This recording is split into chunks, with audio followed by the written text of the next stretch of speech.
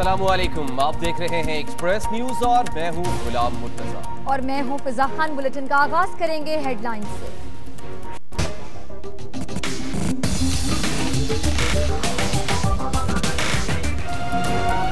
मालम जब्बा में snow festival के आखिरी रोज चेहरे खिल उठे।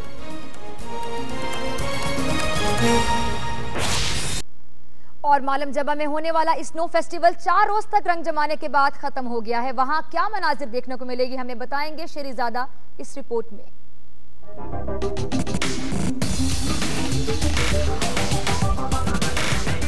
बर्फ़ के गोले एक दूसरे को मारते, ये अपराध शरीक थे मलमजबा में होने वाले स्नो फेस्टिवल में, जो चार रोज जारी रहने के बाद अपने तमाम तर रानाइयों के साथ अख्ताम पजीर हो गया। हर साल ऐसी एक्टिविटीज़ होनी चाहिए ताकि हम लोग जो है हम लोग लोगों को भी पता चले कि स्वाद पुरमन इलाका है। काफ़ी इंजॉय कर रही हूँ यहाँ पे स्नो और मौसम और बहुत प्यारी जगह है। फेस्टिवल में स्की के मुताद मुकाबले हुए। इसके साथ साथ पैराग्लाइडिंग एरो मॉडलिंग के शानदार मुजाहरे भी किए गए। स्की के मुकाबले गलगित बल्दिस्तान की टीम ने जीत लिए दूसरे नंबर पर स्वाद की टीम रही। Core commander Peshawar lieutenant general Khalid Rabbani और इनकी अहलिया ने खिलाड़ियों में इनामात तकसीम किए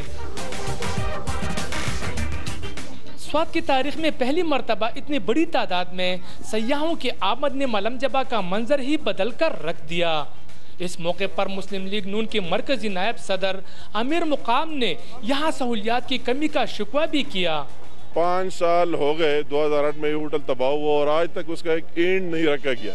और ये स्वाद की आवाम के साथ, सयाहत के साथ गुजशत जो हुक्मरान चले गए, उसकी दुश्मनी का मुँह बोलता सबूत है। स्नो फेस्टिवल से जहाँ सयाह महजूज हुए, वहाँ मुकामी अपराध को भी अपनी आमदनी में इजाफा करने का मौका मिल गया। इन दिनों पाकिस्तान के कई शहरों में लोग गर्मी से बेहाल हो रहे हैं।